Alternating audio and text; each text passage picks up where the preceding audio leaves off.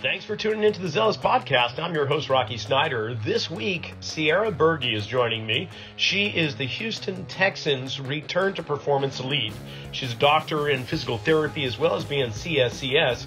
We're going to talk all about what it's like to take the injured players and get them back on the gridiron. Hope you enjoy the show. In the meantime, follow us on Instagram at Rocky underscore Snyder and click the subscribe button. And if there's one of those alert bell icons, click that while you're at it enjoy the conversation.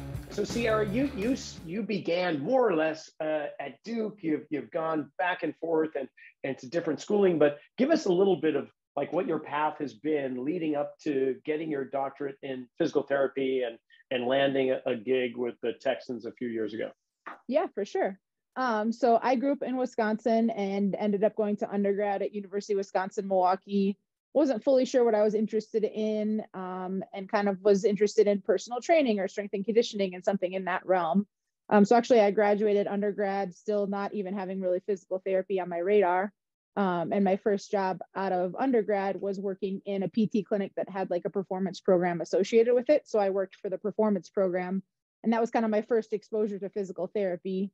Um, and I think, you know, we would have athletes there that ran out of visits for an ACL or something like that, and they'd transition over to the performance program. And they arrived at me with me at me with like, I just had questions like, what has their journey been up to this point? So I was kind of like grew in curiosity about physical therapy in general. Um, so started to explore that as a potential option and ended up thinking that, that was a some a direction that I wanted to head because I just knew like I could bring strength and conditioning into that, which I was really, really passionate about, but just knew I would have like broader career options. Um, so while I was working there, I took prereqs um, just in Milwaukee um, and then ended up deciding to apply to PT school. And I just chose like geographically different places to apply to because I was like, well, I can live anywhere for three years. And so um, Duke happened to be on my list. And uh, yeah, I went there for an interview. Absolutely loved the people. It just felt like a good fit. It felt like home um, was lucky enough to be accepted there. And so went to PT school at Duke for uh, three years. Um, and I had a phenomenal experience there. Like, yeah, where I went to undergrad did not have a very strong sports culture. I don't think you've probably heard of uh, Uni- University of Wisconsin Milwaukee sports very much. So it was really fun to be in a completely different environment at Duke and be like part of a really, really strong sports culture there. Um, and so obviously had my fair share of men's basketball games and all of that stuff while I was going to grad school and yeah, had a great time. Um, after I finished PT school, I knew I wanted to get better at my job faster. And so for me, that looked like exploring residency programs. Um, and so I applied for a sports physical therapy residency program. I applied at four or five different places. And I ended up at Houston Methodist Sugarland, which is in in Houston, Texas, just a suburb there. Um, and that's where I did my first year of training post physical therapy school. And again, I chose that location because I loved the people. I've kind of always followed good people um, and relationships everywhere I've gone. And so I spent a year doing residency there um, and then ended up kind of getting hired on to be on faculty for the residency there at Houston Methodist Sugarland and was there for three years in total. Um, and while I was there, I did a manual therapy fellowship um, through Institute of Athlete Regeneration, which was started by my residency faculty. Um, so it was just kind of a natural transition to keep learning from the people that I learned from during residency. Um, and then after three years in the outpatient setting, I mean, I learned a ton. I had a great time. I just was kind of curious what higher level athletics would look like and if that would be a good fit for me. I didn't really know. Um, so I knew coming from Duke that um, Duke had a Division One athletics fellowship program, and I was like, well, I'll apply for it and I'll go for the interview if they allow me to, and I'll see if like college athletics seems like a good fit for me or not. I really wasn't like dead set on getting the job. It was more like an exploratory, am I interested in higher level athletics? And again, I went for the interview, loved the people, loved the setting. It felt like the next great fit for me. Um, and so luckily they offered me the spot to take that fellowship position back at Duke. So I moved back to Duke um, and did a fellowship year there, got to experience all the different sports at Duke. And yeah, we can certainly chat about that more, but I had a great time there and got to experience all the different sport cultures and culture of care because obviously how you care for a wrestler is going to be different than how you care for men's basketball. Um, and so just understanding all the different cultures of care and had a really valuable experience there um, and great mentorship there and then they ended up kind of creating space for me to stay at Duke. So I stayed for two and a half years beyond my fellowship year and just worked there full time. Um, and I worked in the Olympic sports setting primarily. Um, and sort of got introduced to sports science there. And that's where I started to kind of learn more about load monitoring and force plates and all the different technology that, of course, is becoming very, very popular and utilized. Um, and I just had the freedom to kind of dabble in and learn about all that stuff um, while I was at Duke. And then kind of something came up. I got a phone call, I don't know, in February of 2020 before COVID hit, if I would be interested in a position with the Texans. And I said, no, but I'll talk to them um, anyway, because I was so, so happy at Duke. I loved the people, I loved the culture, I loved college athletics. Um, and so I ended up going for an interview with the Texans, um, and it seemed like a really good opportunity. Um, so I said, all right, they offered me a spot. I said, yes, I'll go there as long as I can finish the fall season at Duke because I had started some programs there and it was really important to me to leave Duke in a sustainable place with the things that I'd started. I didn't want to just start a fire and leave it burning. Um, so that was really, really important to me. And luckily, the Texans graciously allowed me to stay through the fall season um, at Duke. And so I started at the Texans in November of 2020 um, and have been there since. So for about the past two and a half years. So that's kind of the journey in a nutshell or not. fabulous. Yeah, it's a big nutshell. I love it though. That's that, that's fabulous. Well, and just side note, what were your sports growing up? So I played soccer a little bit growing up. I actually grew up on a farm, so was very into that side of things, into animals and that side of things. So that was I know it's not a sport. I'm not saying it is, but that's what took up a lot of my time was um like dairy cows and showing dairy cows and working on the farm. Um, and then I actually danced. I started dance when I was 14, most, mostly like modern or contemporary. Um, and like looking back, it's always easier to connect the dots in reverse. But I loved dance because I loved, I got to teach, I got to analyze movement, I got to like get a good understanding of movement and watching movement. And so I think like the physical nature of manual labor, honestly, from working on a farm, I played sports, but like, I don't know, I was so busy with other stuff that I didn't put a lot of time into sports, to be honest. And then dance growing up, teaching and like analyzing movement and all of that. So I danced through college and then um, was in a company for a couple years after college. And I think like all those worlds sort of combined and it makes sense now to get me on the path that I'm on.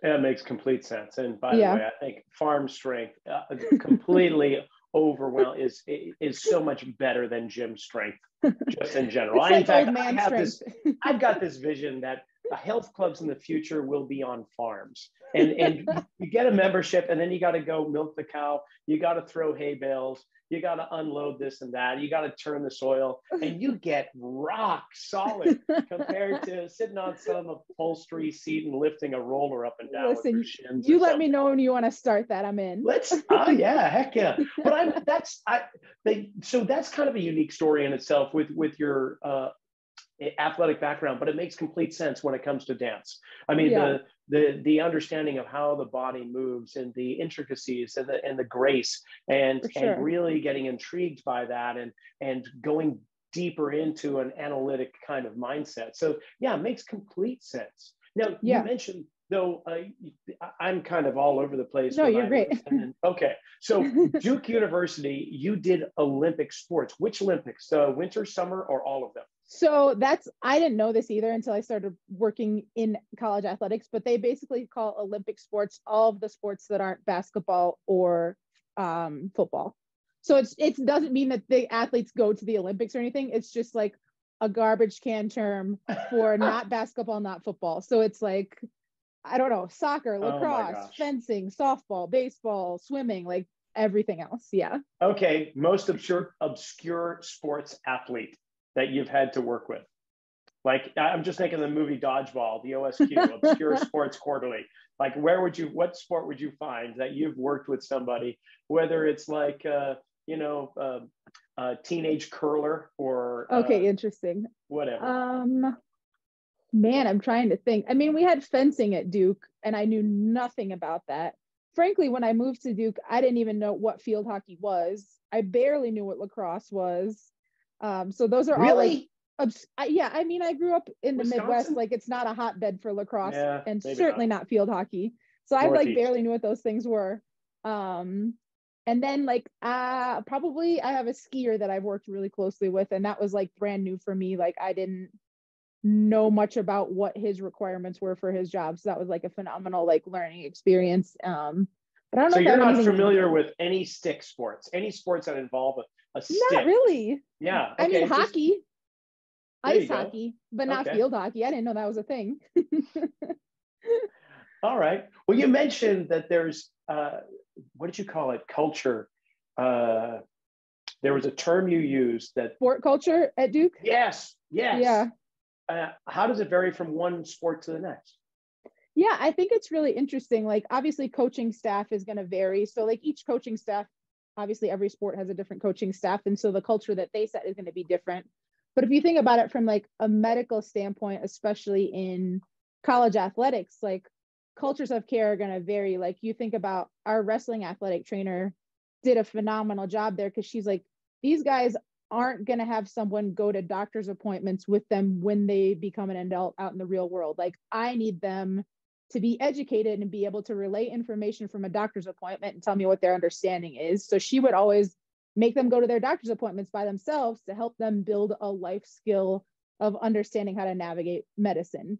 Where if you think about a men's basketball athlete, that's not going to be the appropriate culture of care for them because they're going to be used to a very concierge situation because a lot of them are going to go to the NBA. They're going to have someone go with them all the time. They're going to have someone help interpret those things. They're going to need more of an advocate as opposed to learning to advocate for themselves. And so even like something as small as that, like that's correct for both of those cultures, but it's just different like how you're going to handle a men's basketball athlete because of where they're likely to head is going to be different than how you handle a wrestler. It's going to be a little bit more like autonomy driven with a wrestler because they're going to have to be responsible for their own healthcare when they when they graduate. And so i thought the way that like our athletic trainers approached that and we're very very aware of that was really really cool and special that's really cool. How does that filter down into the the the strength coach or performance coaches does it? Or is it mainly just kind of up in the medical realm when it comes to the culture of care? Yeah good question. I don't know. I think i mean i think like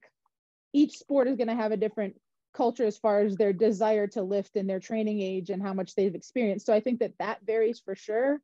Um, you know, obviously, I would assume all of our football athletes grew up lifting weights in high school, where like our field hockey athletes maybe have never lifted weights in their life. So, like, I think training age is going to differ from a strength and conditioning standpoint, and their desire and their buy into applicability for weightlifting for sport you know like that's going to vary too. You know sometimes our our soccer players weren't that bought in because lifting culture isn't a super big piece of their sport. It's just not um, and that's not a criticism. So they have to figure out how to build buy-in in a different way with those athletes versus the wrestlers were like oh yeah bigger muscles the better like they were all bought into lifting so i, I think like each sport kind of had a different um, belief and training experience when it came to strength and conditioning and i think that that's kind of the way that the the strength coaches had to be adaptable.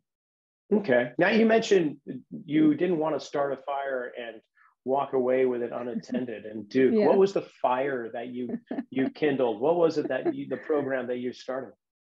So um, as far as like sports science and technology goes, within our Olympic sports, um, we didn't really have anybody that was um, managing that technology. And so our soccer team, our women's soccer team, actually was one of the first ones to start it.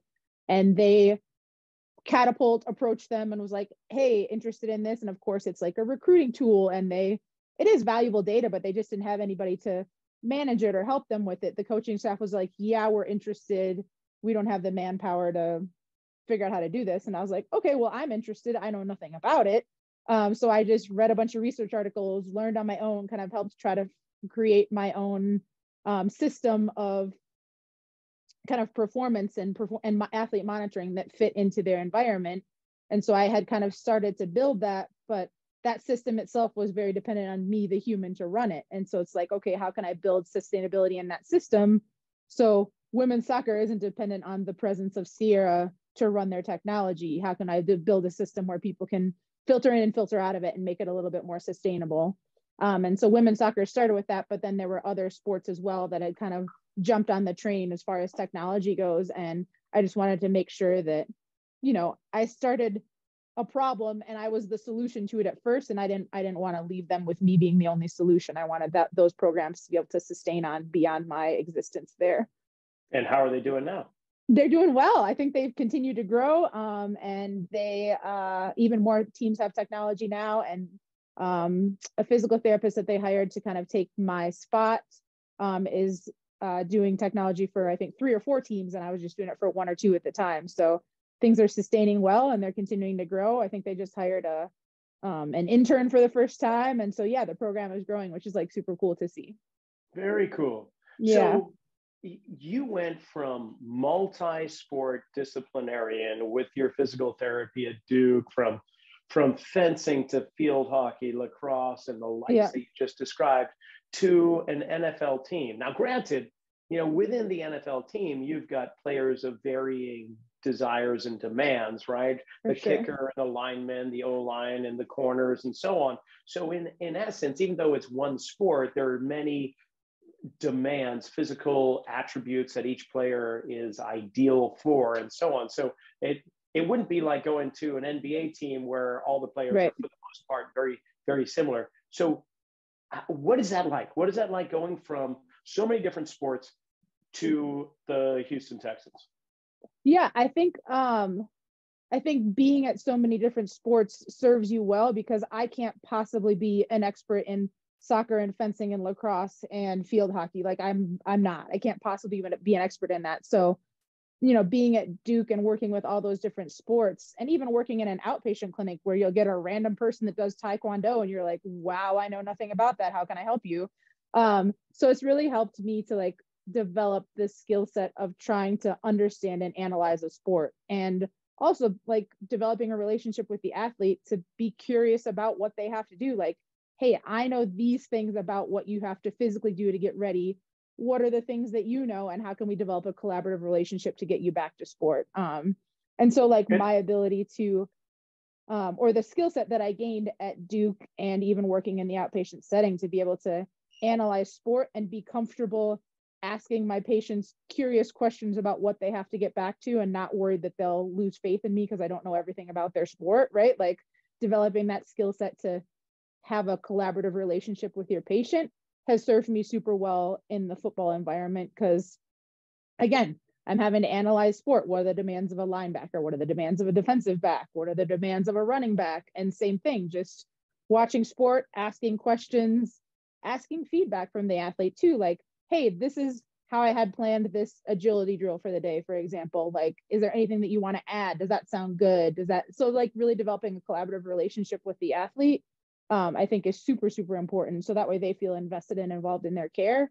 And so at the football setting, it's it's no different. Like I use my eyeballs to try and come up with a plan of what makes sense to me and then use the athlete as a professional resource.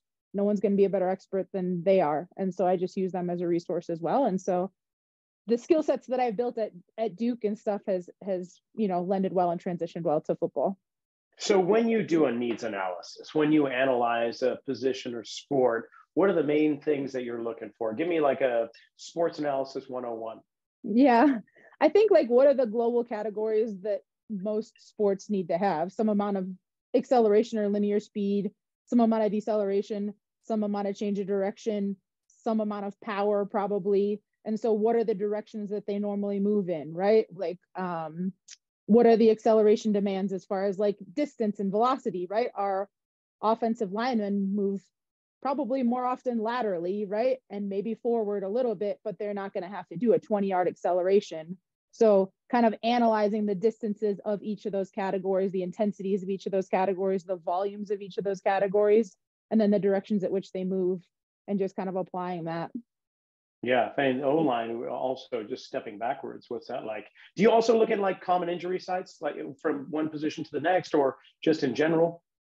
Um, I think from like a quote unquote prevention, you can kind of look at common injury sites, but um, we know like in football, for example, our guys that run a lot of high speed yards are going to be more prone to hamstring and hamstring strains. So like things like that, yes, but I don't know. I don't know how much that at least at this point is informing like work like common injuries maybe injury history for that athlete but not common injuries for the position. So nothing to kind of bulletproof one area over another necessarily based on the history uh, of those things? I think our snc you know coaches do a good job of kind of trying to understand that and understand injury history for athletes and and modifying. Like obviously we have a big focus on hamstring strength and hamstring and high speed running and you know make sure making sure that we're dosing all that stuff appropriately so our strength staff probably takes more of a special interest in the programming specifics for that stuff um, than i do at this point so Ciara for the listening audience can you yeah. give me like what is your official title with the texans and, and what does that involve? What's your role and responsibility? Obviously, a physical therapist with background in strength conditioning, but yeah, what's yeah. that like? My official title is Return to Performance Lead. Um, and so we have a little bit of a unique model, at least a unique model within the um, NFL. And so, kind of, we have a big sports performance team, and that's made up of wellness, which is our nutrition department, sports science, which is our sports science department, uh, strength and conditioning, and then medical. And medical is kind of branched off just this last year into two different departments. One of them is the Department of Athletic Training, and one of them is the Department of Return to Performance. So there's kind of those two umbrellas on or those two departments within the medical umbrella, and I am in one of those umbrellas. Um, so our athletic training staff at this point they manage so much. They manage a lot of the logistics. There's an extraordinary amount of logistics that go into getting an NFL team on the field and on the road. They manage a lot of the very, very acute injuries that are not going to miss time. So, like guys that are just dealing with groin pain but are going to make it through the season, guys that have a little ankle sprain but are going to still end up playing on Sunday. And then they manage all the preparation for practice um, for the athletes and then manage things during practice. And then obviously the acute injuries that happen on the field. And then the department on my side um, Sue Falsone, who was the first female head athletic trainer in the um, in pro sports. She's the uh, director of, of my department, and then it's me and two, me and one other person. Sue is with you. Yeah. No way. When did she join the Texans? I had no idea. In uh, March.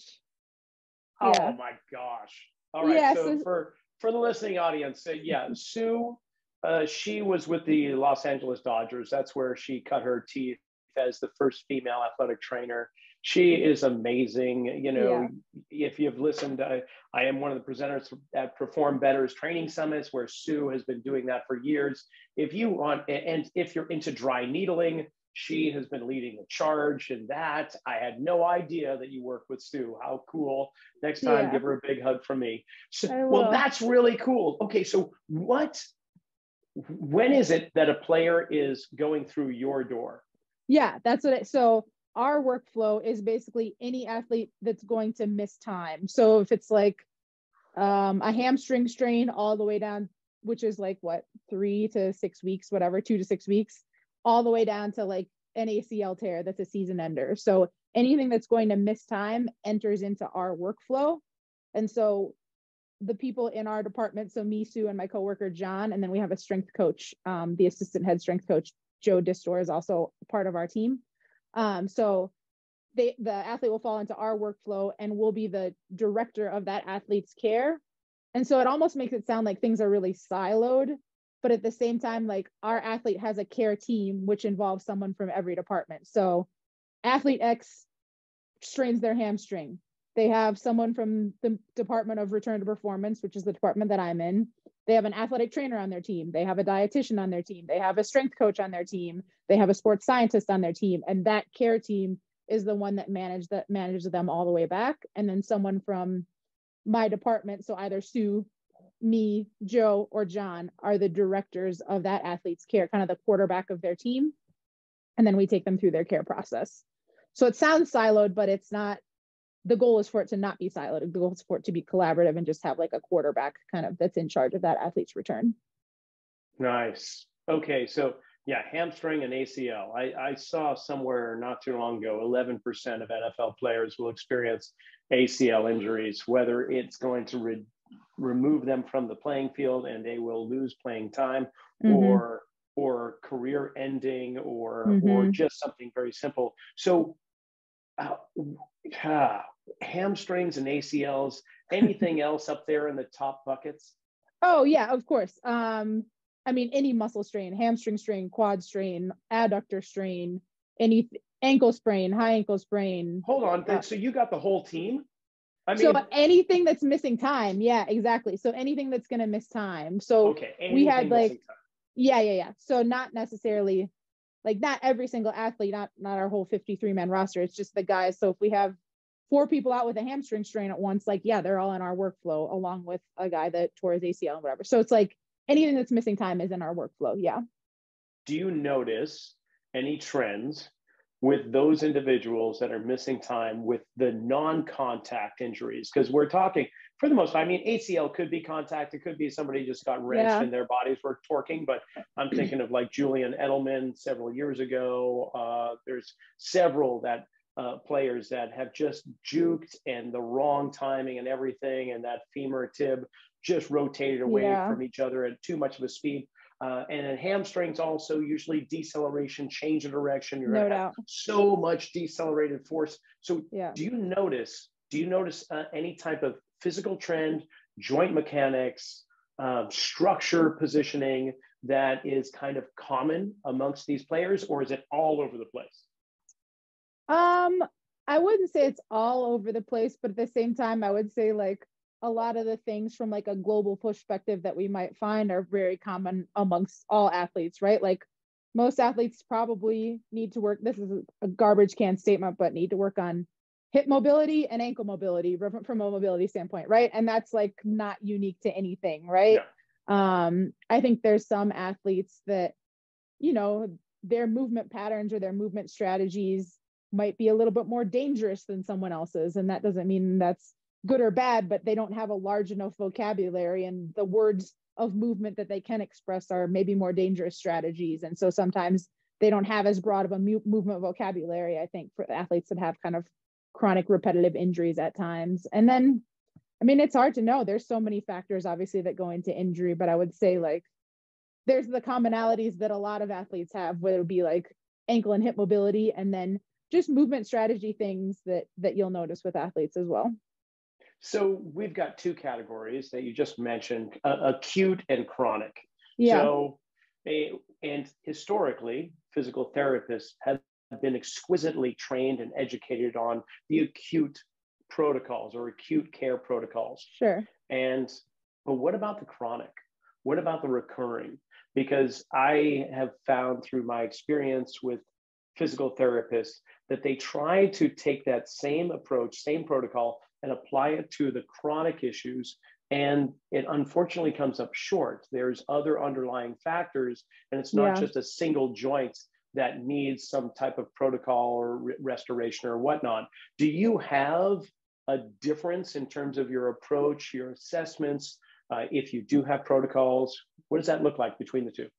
Yeah, I think it's like it can be dangerous to just like worry about only the acuteness of the injury in that specific joint because it's like okay what's the thing that led to this? Like how can we look more globally with everything? And so i think that yeah we can make someone's ankle sprain heal and make them return back but like what are the issues up or down the chain that may have led to this happening? And so i think it's really really important to take a global approach with with all athletes. Like yes we are in charge of making sure that your healing tissue is healing at the appropriate timeline but what about the other 75% of your body? Like how is that? How is that moving? How is that functioning? How might that be relating to your injury? How is maybe your right shoulder mobility not helping your left knee heal? Like it's all possible right? So you don't want to get too distracted from the actual healing tissue but at the same time you don't want to get too focused on it. So everything's always a balance but um, for both of our kind of acute and chronic cases we try to take a little bit of a global look and try and work on those global issues while they're out and so hopefully they come back better than ever before that's ultimately the goal is Great. to make sure that they come back with better mobility in other areas or better strength in other areas. So, you know, yeah, letting the local things heal, but taking a global assessment approach, whether it's acute or chronic, I think that that's um, doing the best for the athlete. I love how you lead right into the next question. So when it comes to global assessment or, or localized assessment, I imagine localized assessment, assessment, you're going to put them on a table. You're going to sure. use your, your mental goniometer and you're going to establish proper flexion, adduction, internal, external right, rotation, right, right. whatever joint we're talking about, right? Yeah. Um, and so, I, and that's probably just traditional fare that we're talking about. But when it comes yeah. to global assessment, what are you doing? What, how do you globally assess them? Is it through um, uh, gait mechanics, running multi-directional movements? Uh, are you doing captured videos and freeze framing and looking at stuff or force plate? What what's your what's your approach with that? Yeah, I think that there's so many different ways that you can approach this. And I think that what's important to state is like there is no best way, but you just need to have a system.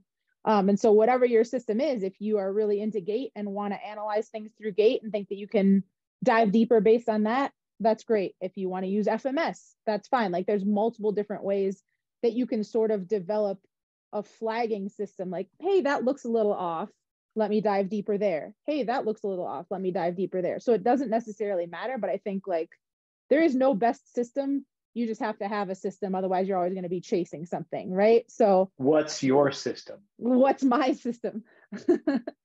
um, so I just like to look at things from like a global standpoint. How do athletes move? Just watch them squat, watch them lunge, watch them do simple movements, watch them jump if they're able to and just watch their movement patterns, I think you can pick up a lot from just watching very simple tasks. And then you just dive deeper from there. So if you notice a lot of trunk flexion and not much knee flexion with a jump, all right, what does that mean? So like you just kind of develop movement flags as you're watching someone squat and lunge and move and walk and run. You just develop little movement flags and then you just dive deeper at those joints. Okay, but that requires an experienced eye who has been observing movement for a certain period of time meaning that you know you get a student from from duke university no, their freshman right. year and you tell them to watch this person do a squat and they look and sure they're going to look for like shin angle and spine angle right. knee valgus knee varus you know all uh, head position and so on but you having had a few extra years of observation you go, oh, look at that. Uh, I mm-hmm. see how they're just barely shifting their their weight over to the left and their torso rotates right. Right. You know, and it's almost imperceptible. I guess that I'm bringing this up because there yeah. are there are landmarks that, uh, along this observational journey of experience. Sure. And and when for you personally, when do you have you experienced this? Have you experienced suddenly you see more? You mm-hmm. watch somebody move and you're going, oh my gosh, yeah. look at that. Or or you blur your vision at a body as it moves and go, where is that mass traveling in, in a way that you didn't look before? Are, are these things that are you're experiencing as your for eye sure. gets more accustomed to it? No, for sure. And I think that like when you first graduate PT school, like my exam, like when I evaluated a patient, is completely different now but I had this system and it was this very rigid system that I followed. And that's good. Like it's great to have a system. So maybe that's FMS or something like that, which is fine. I think that's a great system. It's a system that has numbers associated with it. It's a great place to start. And then as you learn more, as you have mentors, as you have other people that kind of fine tune, you want to take in information from the people that are around you. And sometimes that's the athlete itself. And that helps you fine tune your system and add something in, take something away, so start with some kind of basic structure and then let the people around you mold that structure. And so, like, just having Sue, you know, working with Sue, like, you know, I thought I had a decent eye for movement. And then I started working with Sue, and it's like, whoa, she sees way more things than I did. Like, that's broadening my eyes. And so it's like, okay, let me be more curious and ask her great questions to help me become see what she see, see what she's seeing. And so that's like refining my structure of movement analysis because Sue's refining it because she's a new person that's into my world. And so I think it's like start with a structure, start with a plan. It's okay if it's not perfect. It will never become perfect, but the people around you will refine it for the rest of your career. Okay, putting you on the hot seat right now. what are the things that you have thrown out and what are the things that you've put in to your system? Man, that's a good question. Um, I think I started my system with like very, very basic single joint analysis. Like, how does the knee bend? How does the hip move? How does the ankle move? Which is fine. But like now I can take in a compound movement and be able to let that, you know, lead me in certain directions. So before, like when I was first starting out, I maybe saw stuff wrong with the squat, but didn't have a clue where to go with that. So I was like, I'm just not going to do that because I'm a little uncomfortable with that, which like is very, very basic, but I was super comfortable with like hip range of motion, ankle range of motion, knee range of motion. So it was very basic and very segmental, um, like unisegmental. And now things are a lot more multi-segmental. And so then I started getting a lot more information from compound movements like squat and things like that. Um, and then now, like Sue and the strength coach that I work with have like challenged me a lot for something that's even more compound, like sprinting. And so, right. So, like now I'm starting to figure out, okay, how can I use, uh, how can I maybe throw the squat aside a bit, not aside, that's a slower movement, but like how can I analyze movement at a higher velocity? So it's almost like, I think as I've grown in um, analyzing movement, I've just become better at analyzing movements that have higher velocities associated with them right? At first i couldn't handle any kind of velocity at all. It was like isolated and now it's being able to handle more and more. So like i only look at isolated joint movement at the very tail end as a rule in rule out thing i don't look at that with everything anymore because i can get more from compound movements yeah so in essence you go from a telescopic lens yeah. to microscopic and and you can have that aperture kind of go back and forth depending upon what you see and, and what the athlete needs for sure that's that's the brilliance of, of a true professional is to to be able to adjust based on what you're seeing so right. with that sprinting see mm-hmm. you, just you just provide more questions as you answer well with sprinting we have contralateral motion we have unilateral sure. action and mm-hmm. yet, when we go back into the gym, the majority of movements are bilateral.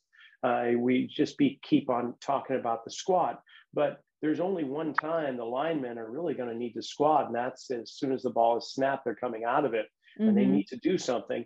And if they have both feet on the ground, they're going to get knocked over uh, one way or the other. So now we're talking about unilateral movements. How uh, and with sprinting, you're obviously looking at that. So how much do you bring that into play when you're when we're talking about like assessing? Are are you looking at how one side behaves compared to the other? Are you kind of just making a mental note going oh that's that's something that i might look into later or is it something that kind of creates a flag for you that okay, there is this imbalance, asymmetry, or whatever. Should we explore that more? Yeah. Are you talking from like a training standpoint or from like still an analysis standpoint? I would uh, more analysis because you're you're in the return to performance, or or better yet, how about this? As as they're coming out of your door, because I, I see like the aid athletic training and return performance as being almost like the indoor and the outdoor. Like mm-hmm. players are coming in to see the athletic trainer or they're hovering around the, the waiting room. And then some will go over to you because they need you more. But you're in essence trying to bring them back out on the field. So it's mm-hmm. almost like this circle going on. So for those athletes that are heading back out your door, getting ready to return to the field, what what strategies, what what uh, protocols, what what systems do you have in place to get them to the point where you're going, yep, you're ready to return? Mm-hmm. I think like, and this has been big to, you know, learn from and explore and create a system with Sue, but it's always beginning with the end in mind. So what is our endpoint from a performance standpoint? What is our endpoint from all of the categories that we care about? Like from a performance side, what is their endpoint for linear, linear acceleration or max velocity? From a performance side, what is their endpoint for deceleration? From a sports side, what is their endpoint? So all the categories that we care about and believe in, what is their endpoint? And then how are we reverse engineering things all the way back to A. So if we go from A to Z, like what does A look like and what does all the way up to Z look like? And so that's just like how we've kind of created our system. And so maybe this things in the weight room with a strength and conditioning coach might start at letter M. Okay, what does our A to M look like? And just kind of coming up with this progression in all of the categories that we care about and believe in. So that way there isn't really ever a door that they're walking through, but just this long, this long hallway, maybe more so so it's never very segmented in care. It's always a smooth transition from from space to space because it doesn't matter if letter M takes place in the athletic training room or in the weight room or out on the field. It just matters that that letter has to take place. And so that's kind of how we've started is like start with the end in mind and then reverse engineer things back to the start. And so when it comes to the full roster, how many athletes are you typically working with any given week? Um, I mean, in like right now and through training camp we'll have a 90 man roster and then um otherwise there's 53 on the regular roster and then I think 16 or something like that on the practice squad in regular season. So roughly 70 to 90 athletes are in there at all times. Our workflow really depends. It can be like three to 20. So it, it just really depends on time and season and who's in the building. And so it, it really, really varies. Well, I imagine it's uh, if we looked at a line graph, we would probably see it spiking up early, dropping down mid uh, season, then spiking up again as you get toward the postseason. Uh, sure. So yeah, yeah, okay. Because I'm imagining yeah. that the the resiliency, just the tissue resiliency, hasn't been built up early in the in summer camp, and yeah. with the reduced amount of time that the players are actually returning to summer camp and getting ready mm-hmm. for the uh, preseason matches, not to mention just the first couple weeks of the season, yeah. you're going to have a lot more disruption, a lot uh, in regards to tissue, joint action, for force sure. production. So, so you're really busy come July, August, September. Typically, yes. Yeah, I would say typically yes, but some years you get lucky. It just really depends. Yeah. Yeah, every uh, year is a little bit different. Interesting. And and you came into the Texans in the midst of COVID. Uh, mm-hmm. Uh, have you noticed through the last few years if there's been a difference as we have climbed out of that bubble, so to speak? Um, I don't know that there's been a difference climbing out of that. I think that the interesting part or the the difference between college and professional athletics is college athletics obviously the athletes are there on site to train all of the time and so their development happens under the same roof um, where in the case of professional athletics you have athletes coming in and coming out of the team. They're not necessarily there for this four year period right? And they also have the opportunity to go live with their family in florida and train there and just come here for the season. So it's kind of like everybody yes all the professional athletes are training but everybody sort of isn't under the same roof training and isn't necessarily following the same X's and O's. So it's a little bit um, of an unknown how people show up when it comes to training camp and how prepared they are. Because, you know, our strength coach is preparing them for the demands of what he knows our coach's training camp is hopefully going to look like. But everyone's preparation looks a little bit different. So I, was, I would say that's the major challenge is we don't have as much control over what's happening outside of the building. So it's hard to know always where the right starting place is when they do get in the building. Sure. Yeah. Okay. So you've you've been with the Texans going into your fourth season officially. Yeah. What what's the best part of your job? Man, I love the athletes so much. I think they're like really, really, really great men. Um, and I think like as an outsider, I didn't, you know, you have your perception of what professional athletes are going to be like, or at least I did. And I thought that they were going to be like these cocky, hyper masculine, competitive guys, and they're really like some of the kindest, like gentlest, smartest, most soft spoken people I've been around, and they're super gracious and kind. And it's almost like they flip a switch and have this persona on the field, but as a day from a day to day standpoint, like they're really, really great men and like really, really goofy and kind and curious and yeah, I really, really love the athletes and like the relationships that we can create with them. And without getting you in trouble with Sue or anybody else in the organization, what's one thing you what's one thing you wish you could change? Um I think and I think this is for all of us like we all have to know when we're not the best person to handle something, right? Like I have to have the humility at some point to say no, our strength coach needs to take this over because they're better at performance training than than I am, right? So we all like, could I take them all the way through the end of their rehab? Yes.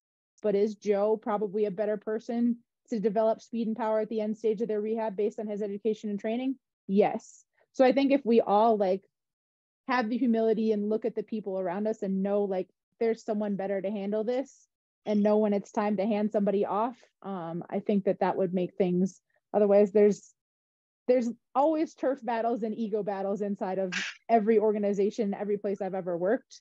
And I just think like having the awareness of the skill set of the people around you um, and having the humility to hand them off at the appropriate time. It's written right across your chest. Sincerely, for the listening audience, Ciara's wearing a sweatshirt that says "humble over hype." Is that uh, is does that happen to be a Houston Texans sweatshirt you're wearing? It's it's not. Oh, all right. Well, maybe you could share it with them. That's good. Oh my gosh. Uh, okay, so then, um, if you could give some advice uh, to any physical therapist, and and I, not to, I, I'm not going to talk about the elephant in the room because I've had so many female professionals in the world of mm. sports on as guests that my earlier guests like sue um, mm. a few years back uh, may have been kind of obviously the minority and you are in somewhat a minority but not as much as before there's no so many more females in the world of sports whether they are coaching officiating athletic training or physical therapy training uh, whatever male or female any gender what, mm-hmm. what advice would you give to somebody that is looking to follow along your career path? Um, this is a quote from Coach K actually that I love. Um, but he said it was um a, a speech to his team um one time when I was watching practice, and he said his mom used to always tell him, um, get on the right bus and be with great people, and it will take you to places that you could never go on your own. And so I think like in my career, I've always like not necessarily gone to the most popular place. Like my residency was not the most popular place, but like I felt so connected to the people and I loved the people and I felt drawn there. I felt expansive there. Um, and so that's where I went. So I think like follow places um, where you can be around great people, um, follow places where you can have really, really deep connected relationships, and those people will fight for you harder than you could ever fight for yourself. I wouldn't have the job at the Texans if it weren't for my connections um, from my residency. I wouldn't have had the job back at Duke if it weren't for my connections back at Duke. And so, like, you know, people will fight for you if you build great relationships with them. And so I've just always like prioritized relationships and made choices based on things that feel expansive. And it hasn't led me astray yet. It Doesn't seem to at all. That's great. okay, so Ciara, if people want to kind of just follow your your your uh, your your path or whatever. Uh, obviously, I'll put some some links in the description to this podcast, like the Houston Texans. But what about LinkedIn, or can we follow you on Instagram or anything of that nature? my best friend told me that my social media game is weak, which is true.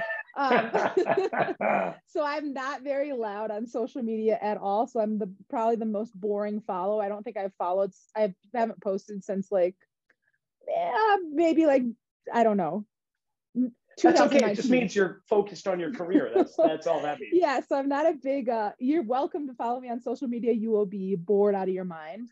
Um, but like I'm always happy to talk to people. Like really just reaching out, um, per, like on a message via LinkedIn or even email or anything like that. Like I'm always happy to talk to people um about career stuff or bounce ideas with off of people. Like yeah, I love it when people reach out to chat. So that's honestly like a great thing for me. So just send a message through any of those things and yeah, I'm sorry about my social media game.